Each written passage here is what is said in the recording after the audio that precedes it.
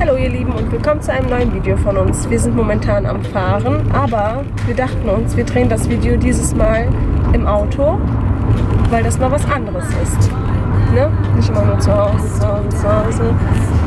Ja, auf jeden Fall, wir wollten euch unsere Love Story erzählen, wie wir zusammengekommen sind. Wir hatten ja ein Jahr lang Schluss, ne? wie das sich so alles entwickelt hat und so. Das wollten wir euch so erzählen im Auto. Und ich hoffe, das stört euch nicht, aber mal was anderes. Wie sollen wir anfangen? Soll ich anfangen? Also Audrey hat in einer Shisha-Bar gearbeitet. Die heißt Cocoberry. Und ich bin da damals mit meinen Freunden hingegangen. Wir haben Shisha geraucht und da war eine Kellnerin, mit der waren wir ganz gut. Die war aber viel älter als wir, ne? Die ist bestimmt zehn Jahre älter als wir. Also als ich auf jeden Fall. Ja, ich habe ihr gesagt, boah, dieser Shisha-Junge ist voll hübsch. Und, aber sagt ihm das auf keinen Fall, weil ich bin keine Person, die Männer anmacht. Also vor allem keine Kellner. Oder Shisha. Warum guckst du so? Mhm. du Arsch. Die werden jetzt falsch verstehen. Ja, auf jeden Fall ähm, hat sie das natürlich auch dann erzählt. Und das musst du jetzt erzählen, wie sie dir das erzählt hat. Sie hat mir versprochen, dass sie das ihm nicht erzählen wird. Ja, dass du mich hübsch findest, du willst mich kennenlernen. Und damals, weißt du, was geil war? Und ich wusste ich nicht, dass er kein Deutsch kann. Das wusste ich nicht. Und damals, ich konnte überhaupt kein Deutsch. Nur, wie geht's? Hallo? Tschüss und die Shisha-Sorten. Nur die Shisha-Sorten, das war's. Ja, und danach saßen wir in so einer Runde nach ein paar Tagen und dann hat sie aus Alufolie Ringe gebastelt, ne? Dann hat sie bei mir eins dran gemacht, bei ihm eins und meinte, ihr seid verlobt. Da dachte ich mir, okay. Und was ne? krasser ist, das ist einfach wahr geworden, ja? Und dann ähm, hat Audrey mich gefragt, ob er meine Nummer haben darf. Ich habe Nein gesagt. Nein, Facebook. Du hast erst Nummer gefragt, dann habe ich... Facebook habe ich gefragt, okay, ja. Facebook. Dann habe ich dem äh, meine Facebook-Adresse gegeben. Früher war das ja voll in. Jeder hat Facebook. Ja, und dann haben wir ein paar Mal geschrieben. mittlerweile, jeder hat Snap, Sna Snapchat, Instagram. Snapchat, Instagram, Facebook, tausend andere Sachen. Ja, und dann haben wir auf jeden Fall äh, uns getroffen. Und Audrey wollte unbedingt sagen, ich bin voll schüchtern, ne? Und er wusste Nein. nicht. Wir haben auf Facebook geschrieben, dass wir uns äh, treffen. Also natürlich meine Freunde, meine Freunde haben für mich geschrieben. Ich habe zwei Freunde gehabt, die konnten perfekt Deutsch. Dann haben die halt für mich geschrieben und die dachte, ich habe das geschrieben. Und danach ist rausgekommen, dass ich kein Deutsch kann. Dann haben wir uns äh, bei uns hier Rodolfplatz getroffen, vor Gigacenter. Dann sind wir Shisha rauchen gegangen. Alles Shisha, Shisha, Shisha. So, wir saßen, ich kann mich noch erinnern, wir saßen auf Tisch 8 damals. Ja. So, haben wir ganz normal Shisha bestellt und wir saßen, wir wussten nicht, worüber wir sprechen sollen. Also ich, ich konnte kein Deutsch und sie wusste nicht, was sie erzählen soll. Ja, weil ich dachte, der versteht mich eh nicht, egal was ich so. erzähle. Ich weiß nicht, dann irgendwann, ich wollte ja sagen, irgendwann, ich wollte ja sagen, ich schäme mich, aber ich wusste nicht, wie das Wort heißt. Was mache ich? Ich hole Handy raus, ich rufe Freund von mir an. Ja, äh, was heißt das, ich schäme mich? Also auf Kurdisch habe ich gesagt, wie heißt das? Dann hat er mir auf Deutsch äh, SMS geschickt. Dann habe ich ihr halt gezeigt, äh, okay, du Der meinte hier. So. Dann habe ich verstanden, okay, ich schäme mich. Dann haben, hab, ich habe auf jeden Fall einen Kakao getrunken. Ich weiß nicht mehr, was du getrunken hast. Schwarztee, äh, Nein, Milchkaffee. Milchkaffee, okay. Nee, heiße Milch. Heiße Milch, okay. Ja, und dann ähm, zwei Tage später bin ich also wieder zu Coco Berry gegangen, der war am Arbeiten. Dann hat er mich in die Küche gerufen. Ne? Nein, ich habe dich vorher die ganze Zeit geschrieben, du bist. Ich war kalt. So, ja, weil meine Freunde die ganze Zeit mir eingeredet haben, der will dich nur wegen dem Pass und der meint das nicht ernst. Weil der hat mir am ersten Tag gesagt, dass der mich liebt. Und bei uns gibt es sowas ja eigentlich nicht hier in Deutschland, ne? Ja, und dann? Ja, und dann. Ähm an dem Tag, wo sie mich geküsst hat. Warte, davon wissen die doch nichts. Wie? Von dem Kuss wissen die doch nichts. Du musst mir erzählen, warum ich dich geküsst habe. Ja, ich war irgendwie abgefuckt sauer, weil sie die ganze Zeit nicht geantwortet hat. Dann bist du, dann habe ich dich Genau, der hinten in meinte, der du bist Küche gerufen. kalt. Und dann habe ich ihn einfach geküsst. Keine Ahnung, wie das kam. Ja, dann haben wir uns geküsst und am selben Abend habe ich gesagt, es wird nichts für mit ein uns. Kuss, Leute. Gesagt, das war echt schön, ja. Kann man nicht wiederholen? Nee, ist egal. Ja, auf jeden Fall, das war unser erster Kuss in der Küche. So, halbe Stunde danach war Schluss vorbei. Nein, Warum? am Abend. Am Abend, Schatz. Ja, für mich war wie halbe Stunde. Naja, äh, Und dann war erstmal Funkstille, dann habe ich angefangen zu kellnern bei Barcode. Und dann ist, äh, hat er mir geschrieben, da, dann bist du immer so spät nach Feierabend zu uns Shisha rauchen gekommen. genau, immer mit Freunden, mit Jungs. Also, das waren aber nur Freunde, ne? Also nichts anderes. Ah, Ehrlich, so. das waren nur Freunde. Und ich habe den immer versucht, eifersüchtig zu machen. Ich weiß nicht warum. Ja, auf jeden Fall habe ich dann gekellnert in Barcode. Und dann hast du mir auf Facebook geschrieben. Und ich habe diese Shisha Babakot gehasst. Ich wollte nie da reingehen. Aber wegen mir, ich bin ja zweimal reingegangen. Einmal habe ich nochmal nach ihrer Nummer gefragt und einmal bin ich reingegangen mit Freund, haben wir Billard gespielt. Ne? Ja. Ja. So, und an dem Tag habe ich sie nochmal gesagt, äh, ich schreibe dir auf Facebook, kannst du mir bitte antworten? Und ich habe ja, ja gesagt, damit ja, reden. genau. So, hast du aber nicht. So, dann hatten wir wirklich Gar keinen. Kontakt mehr, ne? Dann- Sechs Monate. Nee, Dann- gar nicht. Über ein. Jahr. Wallah war über ein Jahr, ja. Dann dachte ich mir, okay, jetzt ist vorbei. Also finde dir jemanden anderen. So, dann habe ich gekündigt bei Barcode und äh, habe eine neue Stelle gesucht. Und dann bin ich zu Rotana Garden. Ich wollte ganz normal nach hinten, meinen Probetag machen, mich umziehen. Dann gehe ich in die Küche und wer steht da? Sorry. Ist der behindert? Wie fährst du, Alter? Guck mal, guck mal. Ich schwöre, Frau, siehst du? Ja, auf jeden Fall äh, bin ich dann in die Küche gegangen, hab, äh, wollte mich umziehen und dann ste- guck ich, der steht da. Dann hast du gesagt, nicht dein Ernst, oder? Nein, du hast gesagt, was machst du hier? Ja, und ich Dann hab- meinte, was machst du hier? Meinte, ja, ich arbeite. Sag ich, ja, perfekt, ich arbeite. Scheiße. So, jetzt. Hände Ja, und dann, ähm, Und da hat Krieg angefangen, Leute. Jeden Tag Streit, jeden Tag abgefuckt nach Hause zu gehen, jeden Tag Schatz, warte doch schlechte mal. Laune zu arbeiten. Auf jeden Fall ähm, haben wir immer Bons gehabt. Wenn jemand was bestellt hat, hatte man einen Bon, Shisha-Bon. Also hat man und getippt Genau, was für einen Geschmack jemand möchte. und dieser Bon musstet ihr zu uns bringen nach Genau, hinten. zu den Shisha-Jungs. Dann habe ich äh, den Bon gedruckt, hab dem gesagt, hier Blaubeerminze. Dann meinte er, nein, du schreibst das auf. Dann habe ich gesagt, nein, Nein, Zitronenminze. war es nicht Blaubeerminze? Zitronenminze. Okay, ich habe Blaubeer im Kopf. Ah, ja. du äh, Und dann ähm, auf jeden Fall, ja, habe ich gesagt Zitrone Minze. Der meinte dann, nein, du schreibst das auf, sonst mach ich die Shisha nicht. Dann habe ich gesagt, nein, du musst die machen, die Zitrone Minze.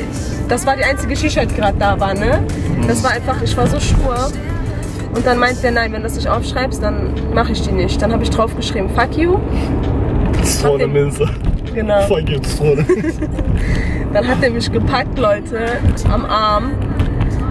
So Ja, ja. Dann hat er mich gepackt wie Hackfleisch, wie du so klein machst. hat er mich zu sich gezogen und dieses, oh, ich habe seinen Atem gespürt, sein Parfüm, alles, das war so schön.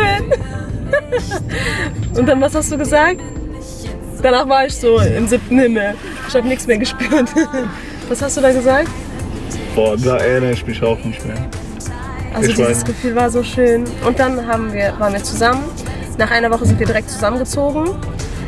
Ähm, Ja, nee, nee, nee, nee, jetzt warte, warte, jetzt du hast alles so durcheinander. nein, warte, danach fängt der, fängt der Streit an. Also stellt euch Ja, vor, bevor wir zusammenkommen, Streit hat angefangen, Schatz. Wir hatten ja immer Streit. Ja, ich meine, dieser große Streit, wo ich dich rausgeschmissen habe. Ja, das war aber nachdem wir zusammen gewohnt haben. Nein, das war vorher. Nein, das war danach. Ich habe dich rausgeschmissen, danach hast du diese Wohnung gefunden. Was, was redest Schatz, du? du, du bist voll gesprungen jetzt. Lass mich mal erzählen. Ah, okay. Auf jeden Fall ähm, haben wir dann zusammen gewohnt. Nach einer Woche. Und dann hat, äh, also Audel hat mir gar nicht vertraut, gar nicht.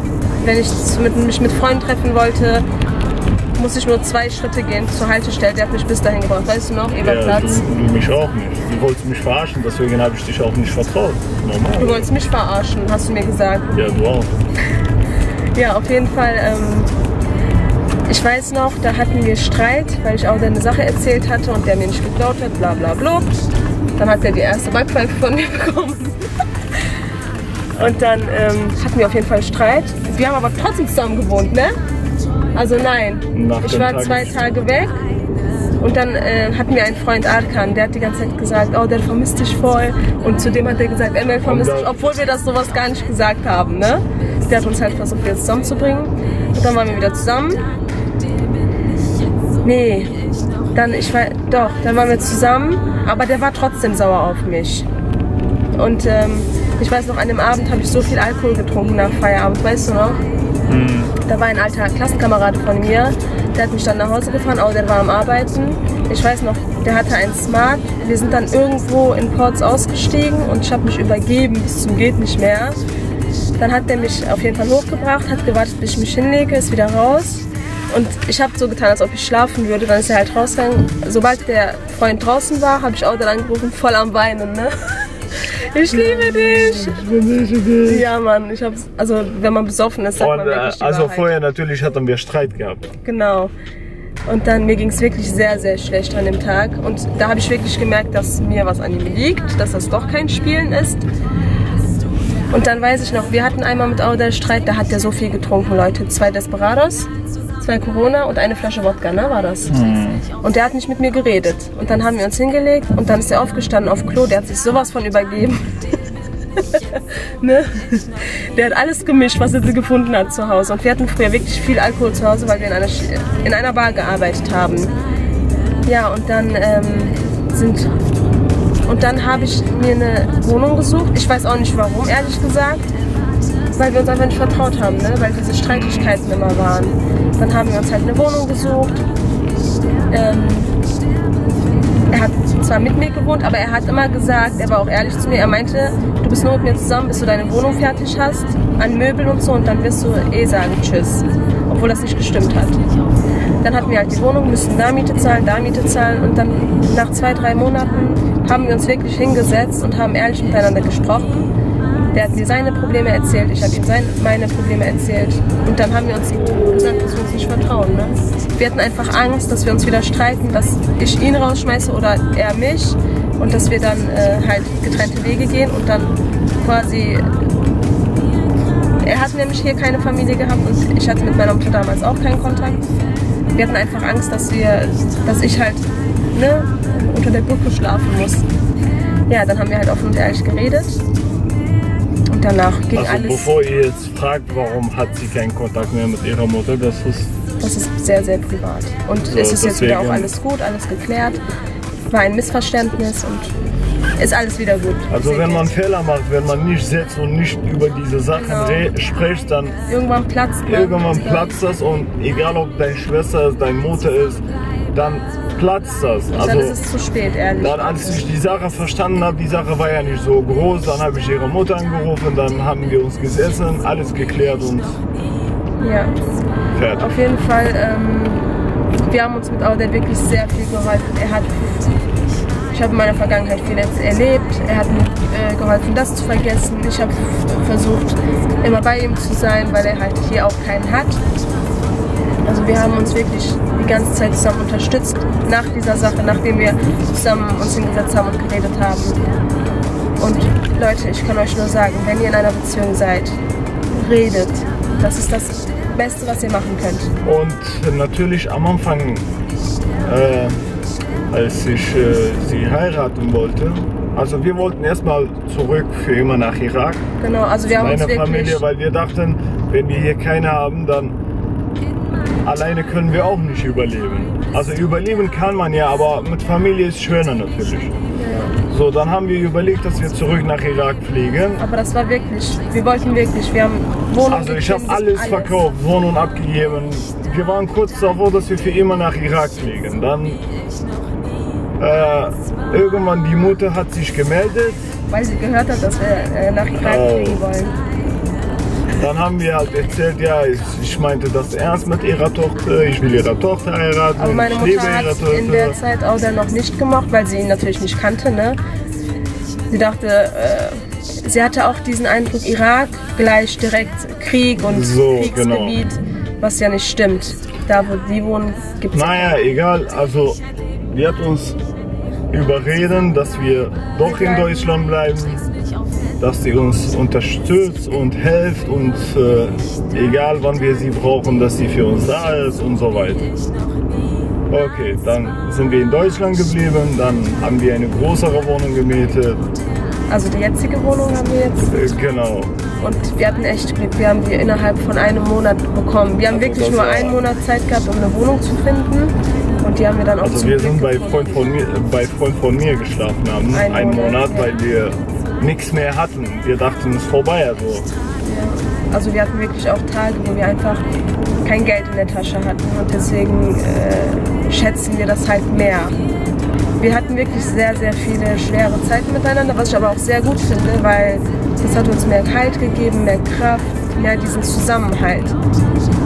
Und ja, dann haben wir auf, Auf jeden Fall, dann haben wir beide hart gearbeitet, knapp zwei Jahre, ein Jahr oder so, zwei Jahre. wir haben auch wirklich zusammen also zusammengearbeitet.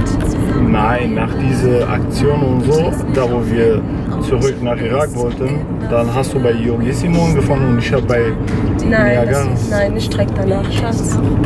Danach Ja. habe ich Rotan klar. Ach so, stimmt, stimmt. Ja, und dann äh, haben wir auf jeden Fall bei Rotana aufgehört. Wir haben da gearbeitet, wo wir unser erstes Date hatten, Leute.